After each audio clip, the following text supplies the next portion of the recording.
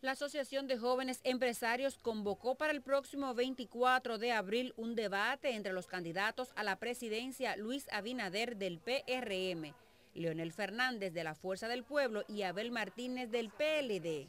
La población favorece este ejercicio que les permitirá conocer sus propuestas, al menos eso piensan algunos. Bueno, es una decisión acertada porque por primera vez en el país se va a ver que se está debatiendo entre los candidatos las ideas de qué es lo que hay que hacer aquí en este país para resolver los problemas más básicos que tiene el país.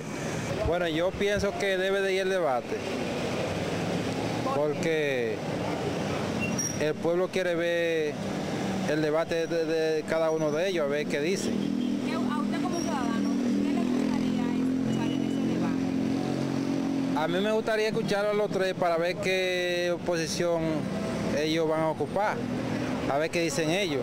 Encantaría para que lleguen a un acuerdo, al que mejor le convenga, el acuerdo que mejor le convenga al país. Yo lo quiero ver juntos y que se pongan de acuerdo y el que tenga la mejor propuesta, que le digan usted es el que se va a sentar. Aunque son nueve los aspirantes a dirigir el país, la convocatoria solo se les hizo a tres de igual número de partidos mayoritarios y para algunos ciudadanos la decisión fue correcta y explican por qué.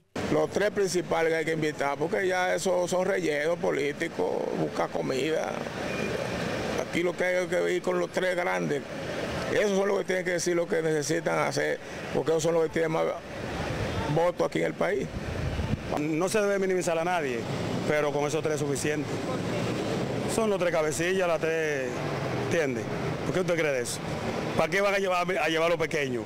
Para perder tiempo, está bien ahí. A pesar de que será la primera vez que candidatos presidenciales del país debatirán en televisión nacional, algunos ciudadanos aseguran no tener grandes expectativas sobre sus propuestas. Ellos siempre ofrecen lo mismo, mi hija. Siempre lo mismo, todo, ni un monopolio. ¿Usted no, no cree que vayan a presentar una propuesta interesante? Ellos siempre dicen la propuesta, mi querida, pero imagínate. El presidente actual prometió la seguridad, educación y salud. ¿Y en qué estamos? Lo mismo. Aspiran a la presidencia de la República para las elecciones de mayo próximo Miguel Vargas Maldonado por el PRD, Virginia Antares, Opción Democrática, María Teresa Cabrera por el Frente Amplio, Fulgencio Severino por Patria para Todos, Carlos Peña de Generación de Servidores y Roque Espaillat por el partido Esperanza Nacional. Para Noticentro, Mari Carmen Rojas.